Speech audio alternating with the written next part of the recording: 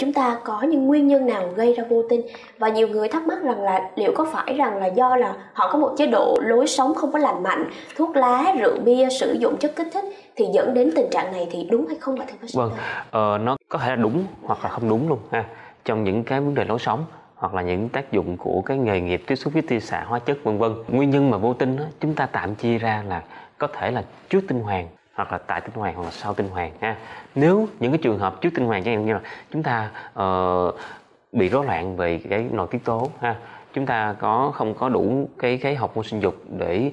phát triển và duy trì vấn đề sinh tinh thì những trường hợp này chúng tôi gọi là nhóm suy sinh dục ha thì nó tiếp cận với nguyên nhân khác không? Còn những cái trường hợp mà bệnh lý tại tinh hoàng nó gây ảnh hưởng tới cái chức năng sinh sản là nghĩa là cái cái nội tiết tố của chúng ta đầy đủ. Tuy nhiên chúng ta có những bệnh lý chẳng hạn như là tinh hoàng ẩn nè rồi uh, giãn tính mạch thần kinh quá nặng nè hoặc là chúng ta có uh, tiếp xúc với tia xạ hóa chất trong những trường hợp mà uh, nghề nghiệp của chúng ta ha hoặc là những cái chúng ta bị ung thư chúng ta có xạ trị nó sẽ tổn thương cái tinh hoàng của chúng ta tổn thương quá trình sinh tinh của chúng ta đó. Rồi cái nhóm cuối cùng đó là cái nhóm mà sau tinh hoàng nghĩa là sao? Nghĩa là tinh hoàng của chúng ta vẫn sản xuất tinh trùng quá tốt thấy không? Tuy nhiên